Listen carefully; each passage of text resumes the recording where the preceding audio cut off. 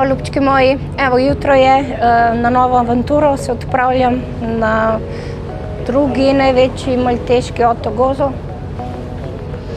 Eh, spet sem malo na morju, kar je moj element. Eh, danes razmišljam pravzaprav malo o avanturah.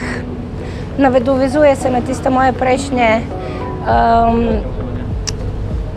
prejšnje, prejšnje razmišljanja, ali se upamo iti iz cone obdobja, ali se upamo iti na pot, ki je ne poznamo, namreč še nikoli nisem bila tukaj. Um, kako vi občutite avanturo in ob tem svobodo? Meni je svoboda zelo pomembna, pravzaprav imam tudi tatu, ki ponazarja mojo svobodo. In uh, rada raziskujem nove kraje, kaj pa vi? Radi bi, da razmišljate in to tudi dosti krat vas vprašam, dragi moji v svetovalnici, ali si upate nekaj novega uh, poizkusiti, raziskovati nove kraje.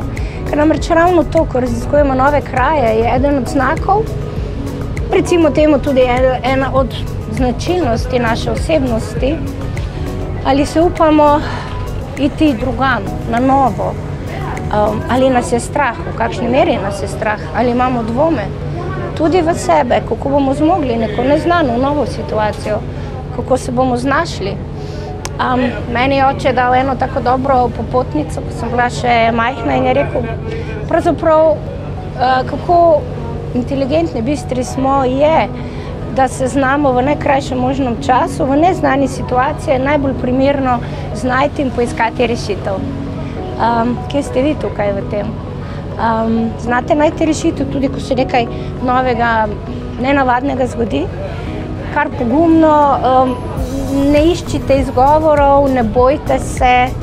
Um, vedno znova rečem, prevzemimo odgovornost za to, da smo ali pa da sem danes na tej enkratni avanturi, kjer uh, sem prepričana, da bom spet in ponovno nekaj novega spoznala, uh, doživela in se tega neskončno veselim. Tako da dajte tudi vi tako poskusiti se opogumiti in iti iz cone obdobja in v najkrajšem času najti neko dobro, lušno, kreativno rešitev. Pa srečno!